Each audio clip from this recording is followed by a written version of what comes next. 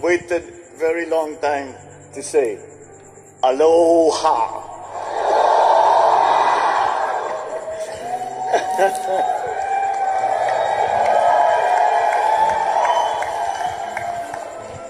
Uh, uh, I'm sure that they have told you, we have just come from uh, San Francisco in Los Angeles, San Francisco. We attended the APEC uh, uh, conference at uh, yung mga yung mga lahat ng uh, lahat ng bansa na nakapaligid sa Pacific Ocean and in Asia are were there and it was very important for us to be there. But on the way back, I was told they said we can fly directly from San Francisco to Manila. And I said, but Honolulu is in Hawaii is in the way, on the way. So I said we have to go we have to go down, we have to land in Hawaii. I have to say hello to all our friends in Hawaii because Honolulu, Hawaii holds the very the the, the, the, Filipinos and the Filipino Americans in Hawaii hold a very special place in my heart as uh, for the all the wonderful experiences that we had here with our Fili- Filipino compatriots. That's why, generally speaking, when I come up to speak, I start by introducing our uh, our delegation uh, that are here uh, that are here with me. But since this is a special place and it has holds special memories, I will turn it around a little bit. I want to introduce you to them. These are the people that kept us alive for six years. We landed here in Honolulu with nothing, with nothing. My family, my family was flown from Malacanang Palace to Hicam Air Force Base. And when we finally moved to Makiki Heights, kayong lahat, nakikita ko kayo, nandun kayong lahat. Wala na- I know they were always there. We had nothing with us. They had, uh, they kept everything to inspect everything. These are the people who kept body and soul together of the Marcos family. Grabe. Ultimo, Nakakaiyak mga bes.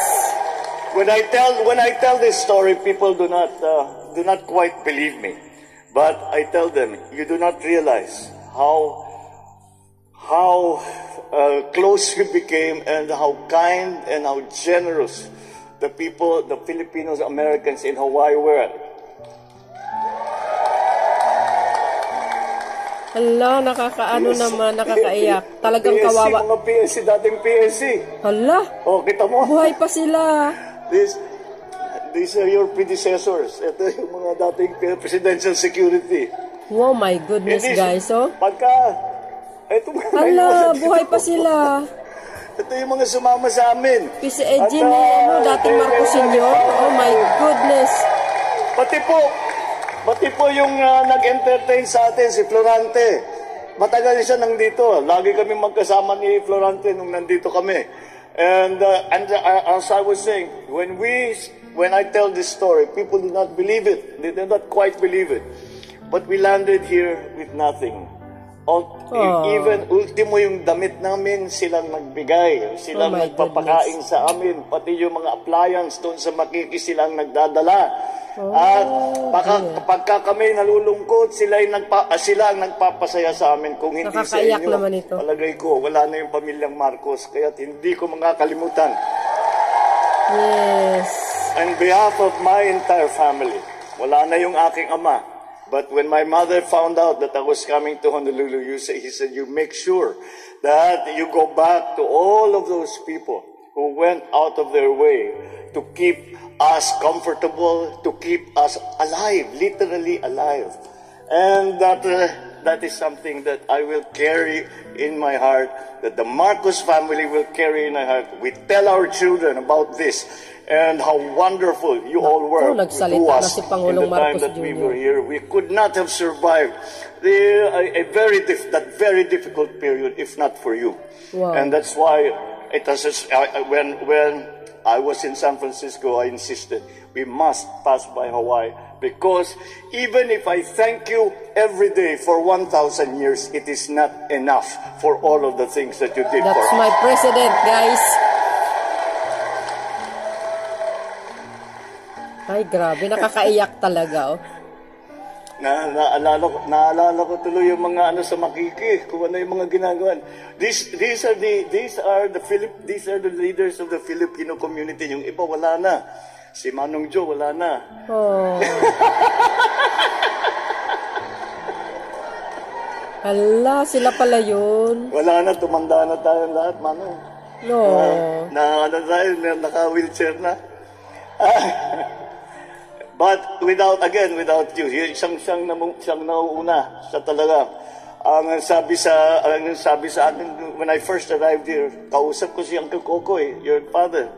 And I said, bakit, bakit nandyan yung Jolaso? Sino ba yan? Sabi niya. Sabi niya, nako, kung hindi lang pangalan mo Marcos, mas loyalista pa sa Marcos yan kaysa sa'yo. At yan ang mga tumutulong sa amin. Oh. And those are the people. These are the people who have been, who really were, were, were uh, that we as a family, uh, we as individuals, owe a debt of gratitude that we will never ever be able to pay. But Brazilian Philippines. There are so many things that we have to do. And that's why I cannot understate the need for us to be united.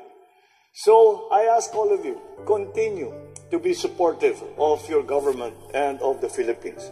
You have worked hard to build your lives here. You are the glue that holds us together. Let us keep traffic bustling between our two homes. Let us continue working together towards building a stronger Philippine Republic. I count on your support. Maraming maraming salamat po sa inyong lahat. Mabuhay ang Pilipino, mabuhay ang Pilipinas. Thank you very much. Mahalo. So, napanood nyo yun, mga kababayan. Talaga namang inaalala ni Pangulong Marcos Jr. yung ah, ginawa sa kanila ng mga tao nung that time na pinaalis sila. Grabe, ano. Nakaka, ano, almost nagiging emotional ang Pangulo. Pero guys, ah, may ah, napapansin ako dito sa mga dating PCG, no? Ni ah, dating Pangulong Marcos Sr., if I'm not mistake. Wow, buhay na buhay pa pala sila. Kung nakikita nyo. So, but anyway, mga kababayan, at least now, eh, nalalaman po ng ah, taong bayan na ang mga Marcos ang ah, pinaka-the best mamumuno ng bansa actually. Sa totoo lang, kung sa legacy ang pinag-usapan ng dating mga Marcos Sr. eh na. So yun mga kababayan, maraming salamat sa iyong panonood. See you again guys on my next upload videos. And uh, God bless Philippines and mabuhay ang Pilipinas. Bye bye bye, babus.